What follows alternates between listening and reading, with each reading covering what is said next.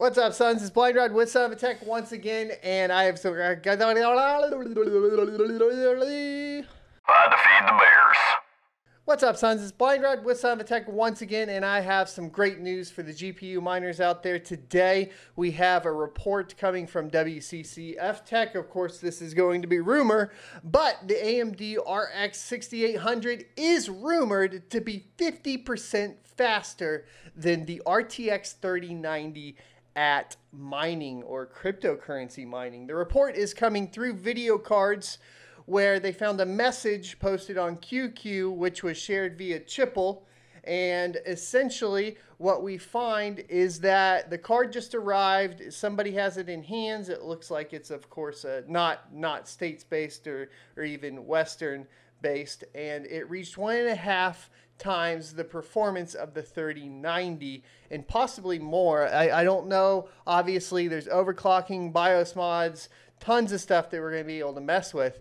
But if this is in fact true, where the RTX 3090 makes at this time between 90 to $100 a month, and that was about a $1,500 graphics card a one and a half times increase would mean that we are making about 135 to 150 per month on Ethereum from a $580 graphics card.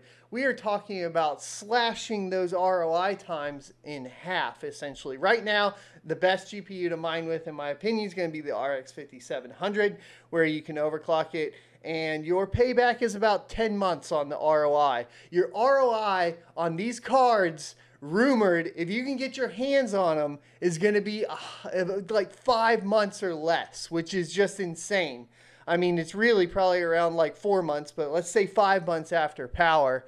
Uh, it's it's going to be incredibly profitable, and this is super exciting if you're in the world of cryptocurrency mining because while there are the ASICs options, not as much anymore for Ethereum. They're hard to buy and the ROI is not great. Having GPUs as opposed to ASIC means that you're able to mine other coins later once ETH moves on to ETH 2.0 and goes full proof of stake and so on. So you have a little bit of a buffer there. Not to mention, additionally, on these GPUs, what's going to be super awesome is the resaleability because the the 6800, the 6800 XT, and the 6900 are all going to be in pretty good demand for quite a while, meaning essentially because this is going to be the beginning of the launch cycle, you should have a couple years to sell them to gamers, no problem, after the fact if you want to get out of cryptocurrency mining. Now, all this talk is super, super duper controversial, and I get it. But here is the article from WCCF Tech. Here's the original post, as you can see. You can kind of get some of the numbers off of it, even if you don't use like a translator or something where it says like 6800, 3900, one and a half times, exclamation point, excited.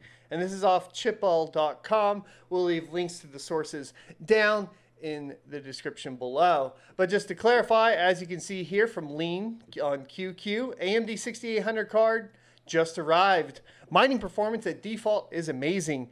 This is default. No BIOS mod. Apparently, we're assuming on this rumor that that is also going to mean no overclock on the memory. It reached one and a half times the performance of a 3090 or even more.